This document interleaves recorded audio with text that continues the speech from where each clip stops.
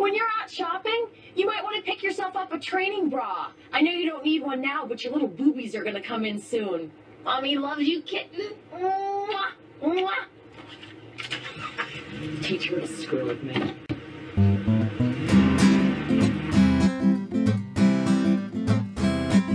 When I was in my teenage years, I did just what I should.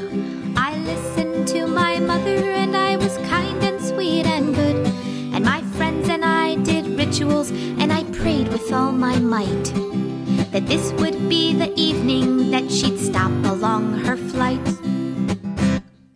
Well, that was several years ago, and that chick's long overdue. And it's time I came to terms with something plainly clear to you. The boob fairy never came for me. No, the boob fairy never came for me.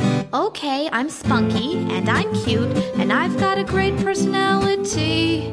The boob fairy never came for me. Well, we were the third house on a country drive. I thought maybe she just got lost. So I hung my bra on the mailbox till the neighbors took it off.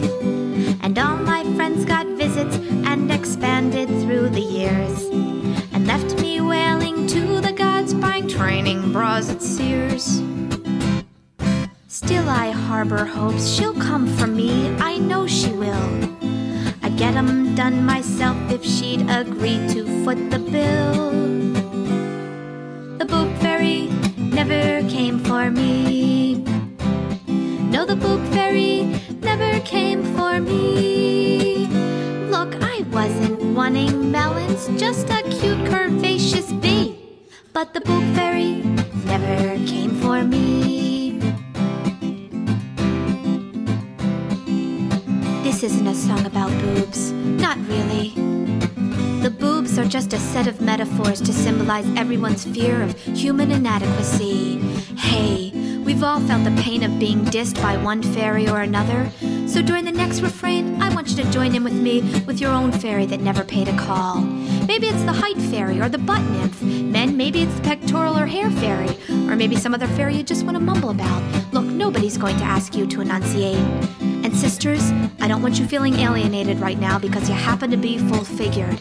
Just change the line to the boob fairy just wouldn't let me be, or the boob fairy became obsessed with me. Okay, here comes the refrain. Everybody, join in. The boob fairy never came for me.